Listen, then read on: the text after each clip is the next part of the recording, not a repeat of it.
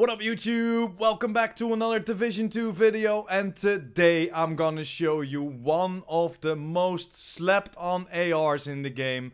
Yes, this is definitely a top contender and definitely can help you out at range and probably on PvP because this is just a monster.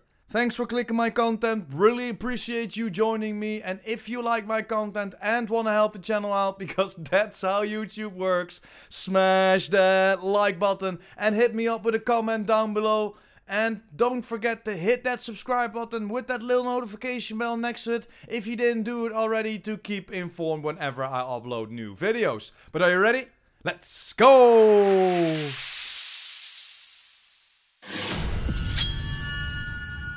Today we're gonna talk about one of the most underrated assault rifles in the game, the tactical MK16. This AR has one of the lowest RPMs in the game, but has a lot of advantages over the other ARs and we're going to compare it with the top 4 most used ARs. We are not just looking at the in-game stats, but we're gonna do a few tests to show you why this might be a top tier contender, especially when shooting at range. It has a pretty high base damage 132k on my full red build and an RPM of 625 and looking at the weapon handling stats is one of the most consistent ARs with a pretty high accuracy and stability and a damage drop off around that 30 to 40 meter mark. Let's compare it to the FAMAS, one of the most used ARs in the game the FAMAS hits for 106.1k with an RPM of 900. And that's a whooping 26k a bullet lower than the MK16. But of course shoots a lot faster with a difference of 275 on the RPM. The accuracy is a bit better but loses on stability. The FAMAS has a damage drop off around that 30 meter mark. And then we have the Carbine 7.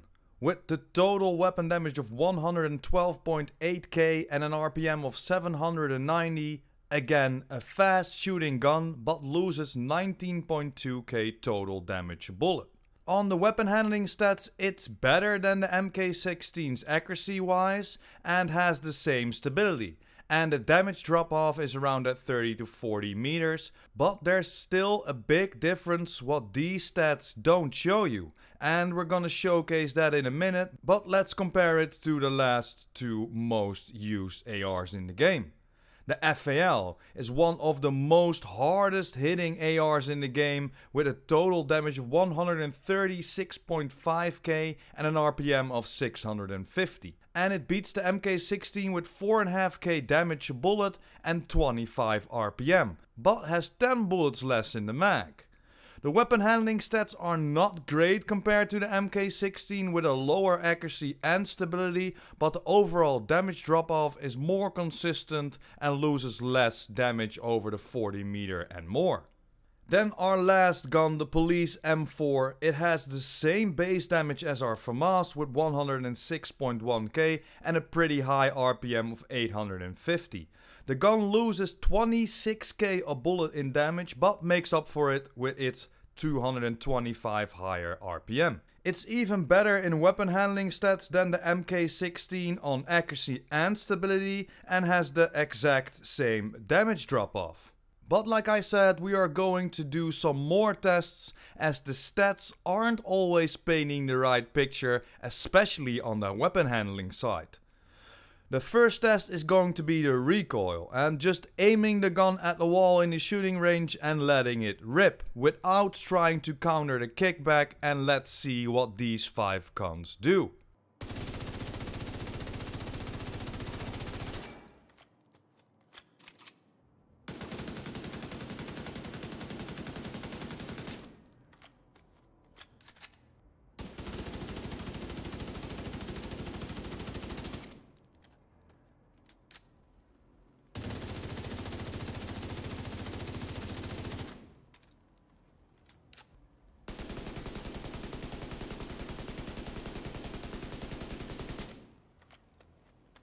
As I just demonstrated and you can see on the screenshot the FAMAS and the MK16 only have a high kickback and go slightly to the right.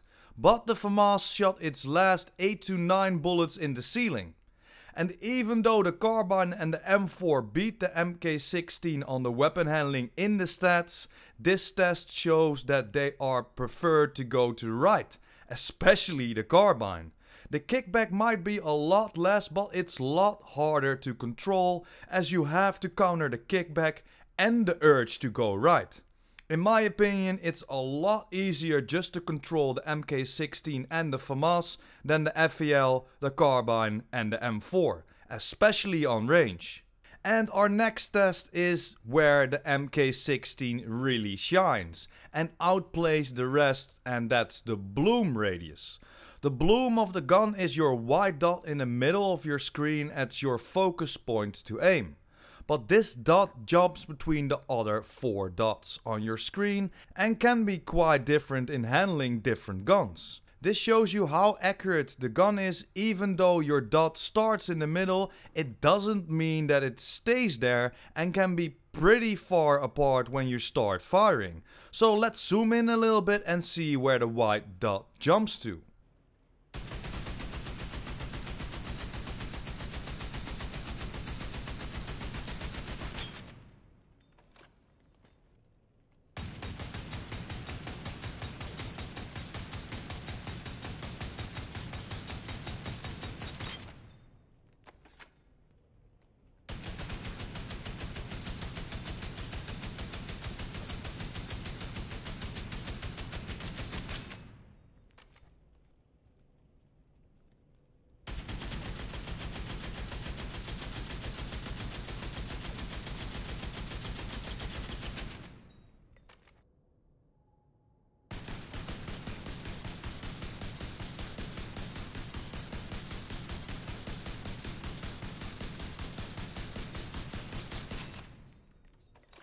And these are the patterns that I just showcased. Of course you need to take in account that I might not have shot as straight as I like to, but it's all about where the dot went. And the MK16 is just supreme. It's the most steady of all.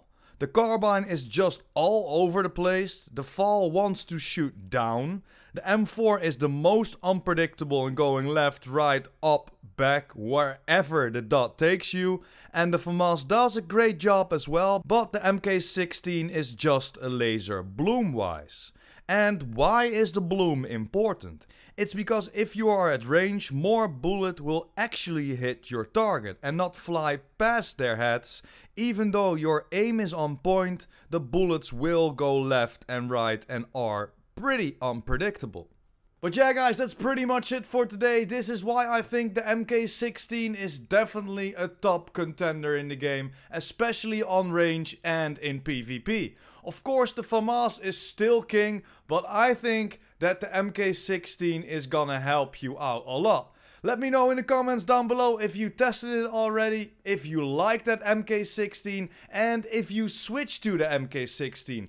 I'm liking it a lot, but let me know in the comments down below what you think about this. But for today, thanks for watching, hope you enjoyed. Don't forget to smash that like button and hit that subscribers button. And of course the notification bell. Pure Prime out!